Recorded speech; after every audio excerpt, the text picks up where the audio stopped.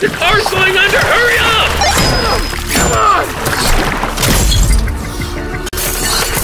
Oh, oh, oh God! No!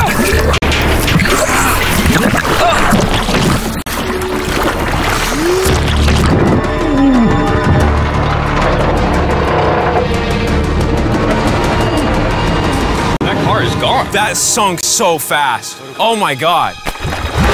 He's alive. Hey, Mac. Nolan, go grab that bag from him. All right, somebody grab it.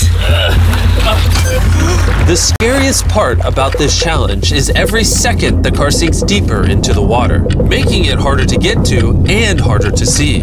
So if Mac wants to keep all of his prize money, he really needs to be moving as fast as possible. But as you can see, that's not going to be easy.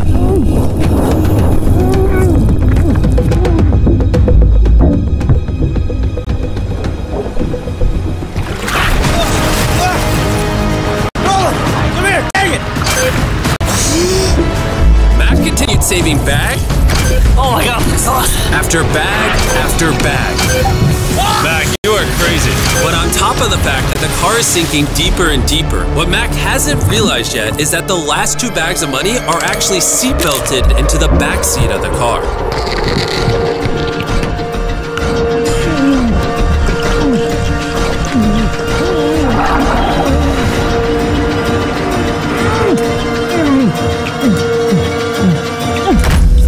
Could be in an action movie, honestly. Well, he was like a borderline Olympic swimmer earlier in his life, which is why I did this fear. Wait, but it's like 40 feet down and the water is freezing cold. How can he hold his breath that long?